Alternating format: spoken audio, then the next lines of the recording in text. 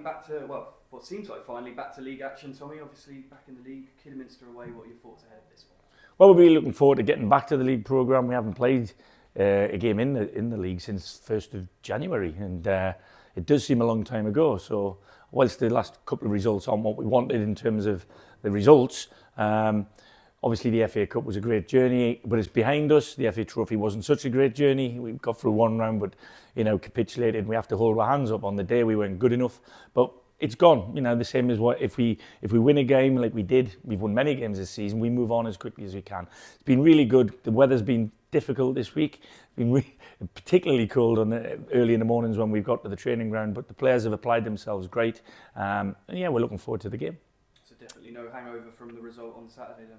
Well, hopefully not. You know, every time we've had a, a poor performance, rather than we've had results that we don't want, obviously, but you know, I don't think anybody in in their sane mind had a real high hope of us winning the game at West Brom, but we didn't disgrace ourselves despite the score.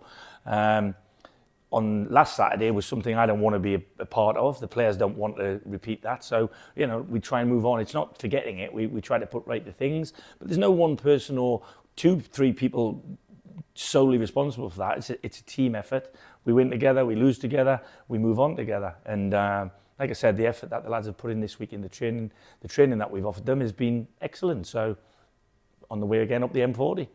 Looking back at when Kidderminster came to our place earlier in the season, it was a close game, one yeah. win, but you know we, we got that win, so we know that we can beat them. They've had a lot of games this season where they've only lost by the odd goal. So, you know, I've looked at their, their stats. They haven't been prolific scorers, but they haven't conceded a massive amount of goals either. Um, there's obviously been a change of management there in the last couple of weeks.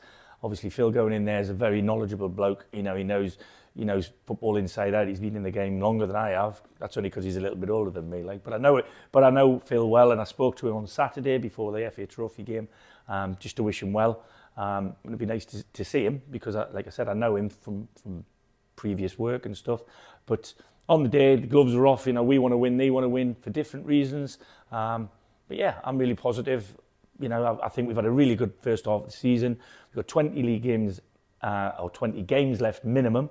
Um, we'd like to add to that if we can, and the only way we can do that is by replicating what we did prior to Christmas. Does that pose a few challenges when a new manager comes in? Because I know you guys do your due diligence, you like to watch the teams, but I guess when a new manager does come in, it, it might mean that it, that might not be the same kind of side that you see on Saturday.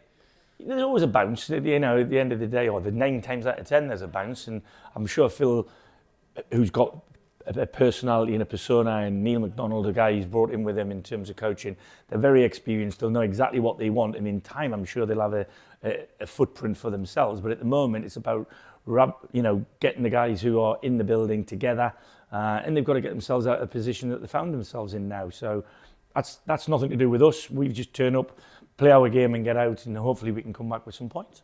In the yellow kit, of course. And the last time we played in the yellow kit was was a good victory against Woking, and obviously that was our last league game as well. So is it all about you know tapping into what we did on that day? Um, partly. I mean, at the end of the day, we managed to score more goals than the opposition on that day, but um, we as a team know what we want to do. We know the way we want to play, but we obviously got to respect every opposition we play, whether it whether it's our neighbours or whether it's um, Kidderminster Harriers. We, you know, as as for the kit, I mean, I don't. I'm not aware that there's an issue with any of the kids. As long as it's got our badge there, um, we're playing, we'll be given what we've got to make sure we bring points home.